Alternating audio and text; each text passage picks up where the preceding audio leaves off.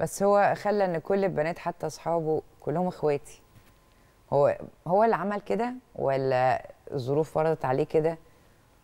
ولا هو ما كانش نفسه في كده هو بيحكي؟ يعني هو هو افويدنت جدا ماشي بس هو مش شخصية اللي هو بيقولوا عليها اللي هي السلبية اللي هو شخصية عنادية سلبية؟ لا لا خالص. هو هو عنده حتة ها؟ الاجتنابية دي جدا جدا مم. ولكن هو برضه حط يعني فكرة إن أنا النهارده عايش في قصة حب سنوات قصة حب أفلاطونية مش بيحصل فيها أي أحداث. هي إيه قصة الحب دي صحيح؟ ما هي دي يعني دي يعني في إيه حد 10 ذاتها- سنين بكلمها على الفيسبوك وتكلمني وشفتها مرة كده بالصدفة.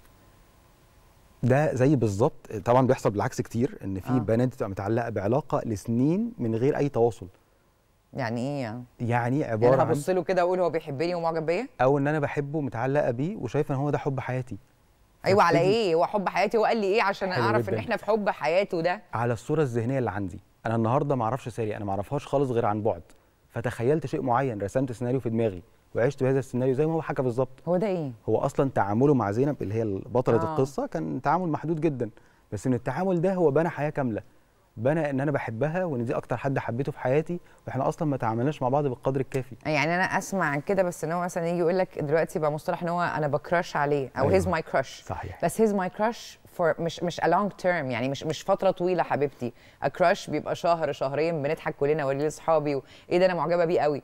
لكن هل ممكن أبني الكراش أو القصة دي 10 سنين؟ بصي الموضوع ده مهم قوي. مش الإعجاب أو السبارك اللي بيحصل في الأول آه. أو الحتة الكراش اللي في الأول دي مش بنبني عليها علاقة. لا ده حبيبي بتفوق على وهم تقع إيه؟ على جدور رقبتك كده أول ما يفتح بقه. أو إن أنا كمان أتعلق بيه فأوقف حياتي. يعني أوقف آه. حياتي إن أنا أشوف اختيارات تانية أو أشوف حاجة مناسبة ليا لمجرد إن أنا واقف مع الإعجاب ده. فعشت معاه لسنين. فبحبس نفسي جوه الدايرة دي. وده بالظبط اللي حصل معايا طب هو ده عشان يطلع من الحوار ده إيه؟ يعني ياخد قد إيه عشان يتعافى ويبقى كويس. جميل برضه. الوقعة وحشة. طبعا وقعه وحشة بس أنا محتاج أعترف لنفسي إن اللي مريت بيه ده مؤلم. يعني اللي أنا فيه حاليا واجعني. مفيش حاجة بتوجع أكتر من كده. يعني فكرة إن أنا النهارده نفسي في حاجة ومش عارف أوصل لها وقاعد أتفرج عليها عن بعد فده شيء مؤلم جدا. وإحساسي إن أنا في إيدي حاجة أعملها ومش عارف هي إيه.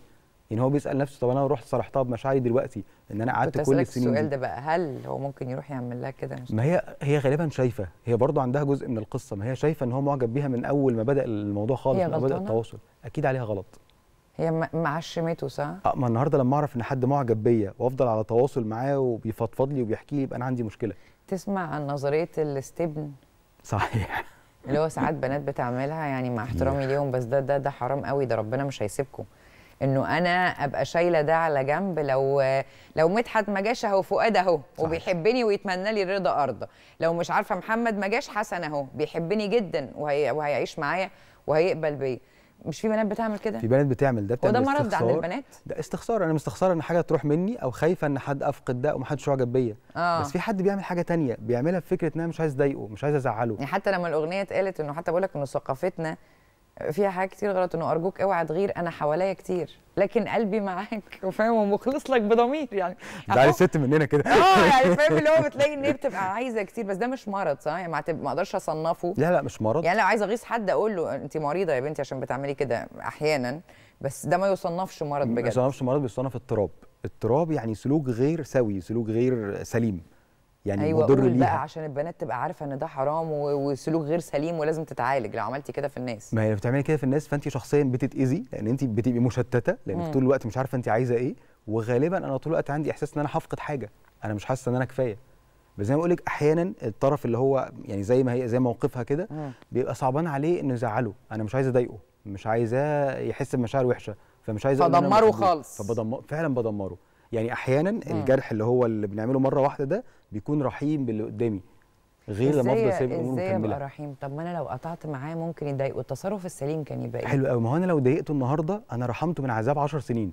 بس هيكرهني يدعي عليا يا مصطفى. هو مش هيكرهني لو عرف إن أنا أنا ما حبيتهوش وما عنديش أي حاجة ناحيته. مش إن أنا دلوقتي مش مستعد للارتباط. طب لو زن عليا تاني اعمل له block؟ لا مش هعمل block بس هبعد نفسي. مش هبقى متواجدة طول الوقت. مش هرد. بتواصل طول بالظبط. مش لازم أرد في أول مكالمة مش لازم كل ما يكلمني نرد ونتكلم ونحكي. لازم آخد مسافة بعد مم. عشان عارف ان عنده مشاعر مش هتطفي في يوم وليلة. فمن باب الرحمة بيه إن أنا أبعد شوية. يعني هي كان عليها غلط 10 سنين صح؟ أكيد. لأنها واعية وشايفة هو بيعملها إزاي وهو حاسس ناحيتها بإيه. طب المفروض يحكي لأهله على اللي حصل ده ولا لأ؟ طبعا حسب طبيعة الأهل متفهمين ولا لأ هيستوعبوا ده ولا لأ في هم مرحلته شايفينه الحاليه بيجيب شقة وفي الإسكان الاجتماعي يبقى أكيد شقة يبقى عايز يتجوز وعايز يبقى عريس.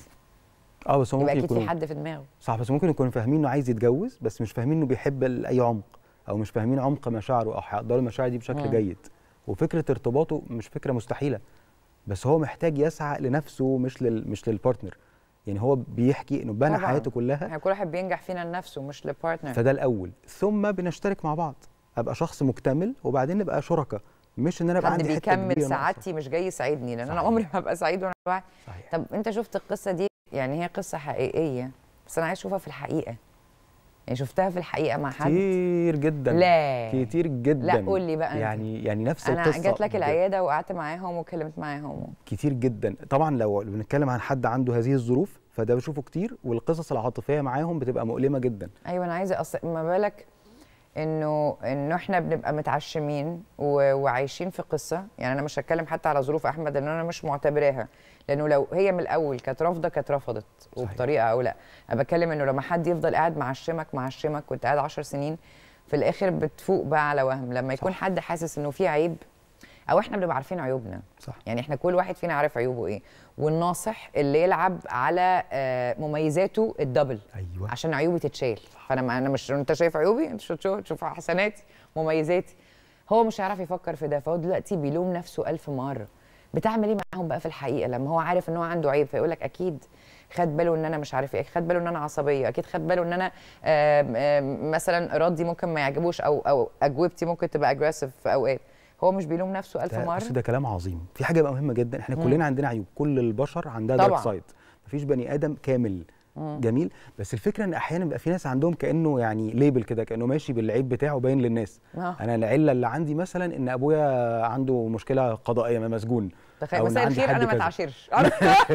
أنت ماشي بيها ليه؟ هي الفكرة كلها إن أنا مش عايز أمشي بيها. ك title ده مش بيعرف أنا مين ده مش ال ID بتاعك ده مش بطاقتك الشخصية. مم. يعني العيب اللي عندك أو اللي أنت شايفه ومترجمه عيب هو عند غيرك مقبول. اللي أنت شايف إن أنت ما ينفعش تتقبل بيه في غيرك هيقبله. فأنا محتاج ما أتعاملش. مع نفسي بشكل فيه تقليل. ثانيا لو أنا عندي علة مثلا عندي مشكلة جسدية فاللي قدامي هيشوفها أول ما هيتعامل معايا. فدي أحيانا بتبقى الفلتر للناس. دي بتبعد عنك الأشخاص الغير مناسبين من البداية. صح. الناس اللي مش شبهك اللي مش هينفع تتعامل معاك مش هتستوعبك. مم. فده فلتر جيد مش سيء. بس المهم إن أنا أبقى قابل العلة اللي عندي. وزي ما أنت قلتي بالظبط كده إن أنا بزود مميزاتي.